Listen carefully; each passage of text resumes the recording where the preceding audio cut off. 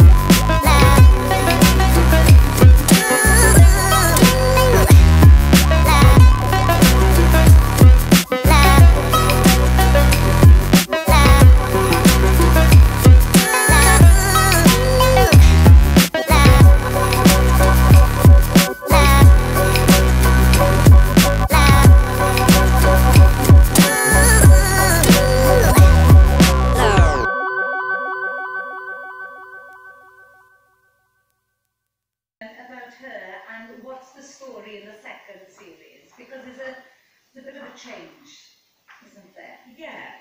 Um, so they're all sort of standalone episodes, um, and so we, we were able to. Uh, we were so lucky this series that we were able to work with some really exciting actors and guests Like um, in the show. Um, so uh, Sabrina's obviously running the salon, and Tanisha's still trying to work there and Richie's running the front desk fabulously while his dad thinks that he's filming Casualty. Um, and um, we've got a bit of mafia stuff going on. Yeah. Um, Surely taffia. Tafia, yeah, yeah um, but with uh, genuine, genuine Sicilians. Um, so we're joined by Francois Pandolfo, um, who's a fabulous Welsh, actor, Welsh Italian actor, um, Dan Starkey, um, who joins us when we uh, close the salon for the day to go and keep the boys in tickets. Um, so entire episode takes place in queue, which was really fun. Um, and then we're joined by Miles Jupp, um, who's guest starring as uh, Richie, the receptionist's dad, who turns up for a surprise visit. Right. Um, and then um, Ralph Little joins us in episode four. Um, Fantastic. he plays a, um, a, colourist. I'm, not sure how, I feel like I'm giving away the whole series now I'm saying all of this. No, But, there's something when tune in tonight at half past six, you've got to give a oh, little... well, exactly, yeah, yeah, yeah. For us to make an appointment. Well, yes. Um, so yeah, and then so we've got our core cast of Dave Dates um, and Stephanie Upton who are there each week, and then guest stars um, Garland Davis who returns from series one, um, playing fabulous character Frankie. Um, yeah, so just just a fabulous all-star cast and lots of adventures each week from Yankees and uh, celebrity colorists. Okay then, well, I, I'm intrigued in knowing, have you ever overshared sitting in a hairdresser's seat or not? I? Yeah, a think. Constantly. Oh, great, can't wait to hear the next bit. we'll be back with Beth Granville after we have a travel update. Here's Jamie Pritchard.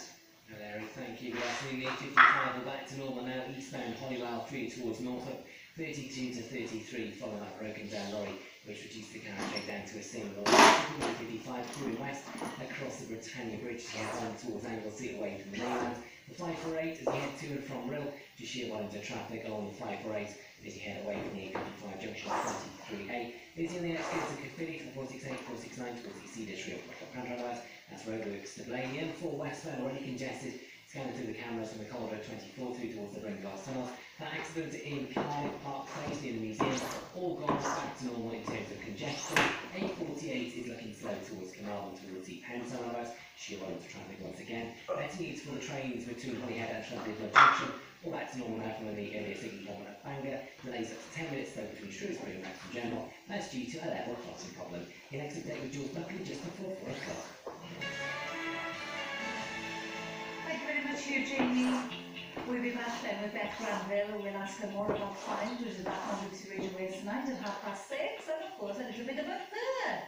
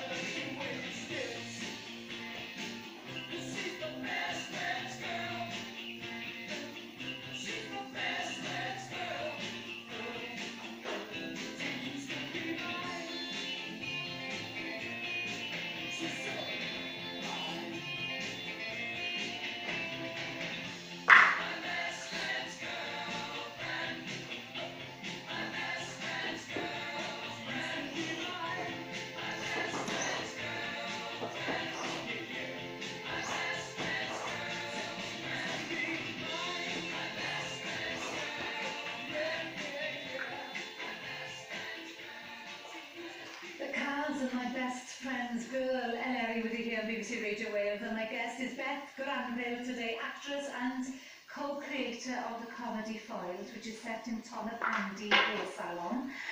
And um, it returns to the airwaves this evening and there's only one appointment which we can fit you in in the week and that's 6.30 tonight on BBC Radio Wales. But if you want a Saturday appointment, it's half past one after Rod Gilbert's show. So we know where to find you, Beth. Um, but I've got to ask you then, so you sat in that seat, um, and the hairdresser has been chatting away, yes? Yes. And then he or she starts sharing stories and you probably join in. Yes. They listen. And then there's a tad too much oversharing happening. Oh, always. They're like counsellors. You, you leave telling them that there's something about being sat in the hairdresser's chairs. And any hairdresser will tell you that they just know everybody's secret. I can only hope they sign confidentiality things like doctors do. I don't think they do. But they, I mean, they know all my dating stories. Is that another sitcom? I hope so. I hope so. I hope I've got another series of me. How did you get into comedy then, Beth? Um, well, um, I sort of became obsessed with comedy when I was very young, watching Fawlty Towers with my granddad on repeat. Um, and watching things like Dad's Army and just grew up watching British comedy as much as I could get. Um, and then uh, started doing comedy sketches in Barry Memorial Hall, of all places. Goodness me. I know. Uh, so tried some stuff out, wrote some stuff, um, and How tried old it. were you? Um, well, I suppose this was this was about 12 years ago, maybe? 10, Right. years, 10 12 years ago. Yeah. Um, where, you know, a few people had said, you're funny, why don't you do comedy? So I was like, oh, okay, I'll give it a go. Um, so we did some comedy sketches and people laughed. Um, and then we filmed ourselves doing them. It was actually with Francois Pandolfo, who is now in Foiled with me. Um, he, he was my first sketch partner. And um, we filmed ourselves doing sketches and posted the DVD to Ruth Jones's house, which sounds very brazen and slightly odd now when I say it out loud. Um, but she um, she liked what she saw and invited us in, and we were really lucky to meet Ruth and David Peet. And uh, I got a couple of TV jobs from that, so I did Gavin and Stacey and Stella um, from having done a bit of work and stuff with Ruth and Tidy Productions, which was fabulous. And everything's just come from there really. I've done a few Edinburghs, lots of comedy sketch shows, tried lots of stuff that hasn't worked, and then foiled in Edinburgh a couple of years ago um, was the thing that, that took off. Yeah. Interesting, isn't it? The path. The path you've taken. So would, would you do stand-up comedy or is it more sketch shows and acting comedy? It's definitely more sketch shows and, and performance Yeah. um, and sitcom writing at the moment. Um, I sort of I I toy with the idea a lot, and I, I really really fancy giving it a go. Um, and then I'll watch somebody amazing and think, oh no, maybe I won't, because it's it's such a skill, and I'm I'm really I have a lot of admiration for stand